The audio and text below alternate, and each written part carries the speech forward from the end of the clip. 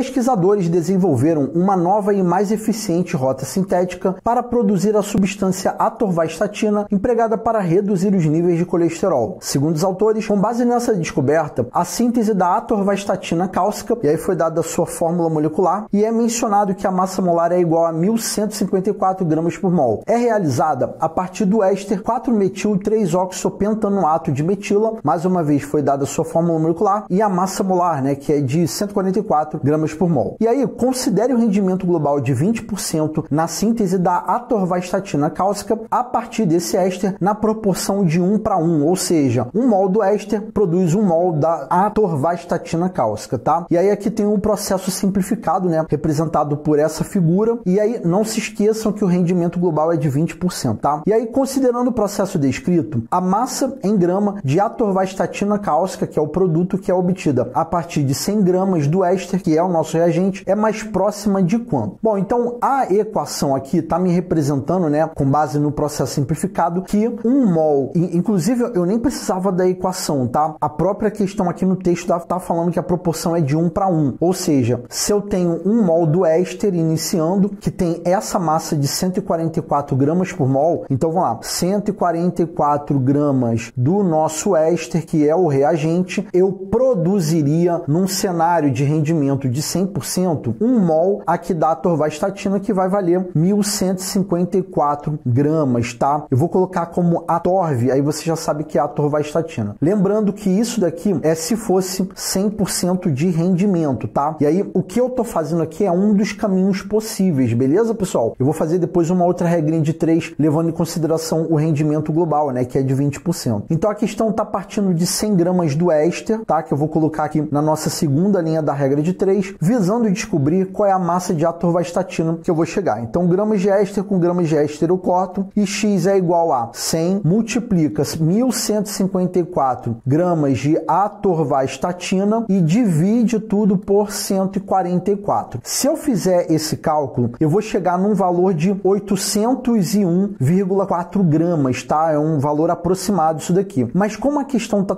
trabalhando com valores próximos, ao invés de colocar 801,4, eu vou colocar aqui na malandragem, eu vou colocar 800 gramas, sacou? E aí vocês já sabem por que, que eu estou colocando 800 gramas, ó, porque é a massa mais próxima. Então, 800 gramas de atorvastatina eu produziria se fosse 100% de rendimento, tá? Como o rendimento global é de 20%, qual vai ser a minha massa de atorvastatina formada? Então, eu vou fazer uma outra regrinha de 3, né? Eu já estou efetuando o cálculo aqui, né? Porcentagem de rendimento com porcentagem de rendimento a gente corta. Então, a gente vai ter 800 multiplica 20 gramas de atorvastatina e divide por 100. E aí eu posso cancelar, ó, cancela esse zero aqui, esse outro zero aqui, e aí a gente vai ter 80 multiplicando 2 no final das contas. 80 multiplicando 2 vai dar 160 gramas e a letra C seria a alternativa correta para essa questão. Lembrando que o que eu acabei de fazer é um dos caminhos possíveis para se chegar na resposta e o caminho que eu fiz é o que na minha avaliação é bacana para a maioria dos alunos que entram aqui nesse vídeo conseguir entender qual é a dinâmica aqui do cálculo e por que a alternativa C vem ser a correta para essa questão. Show? Então é isso, galera.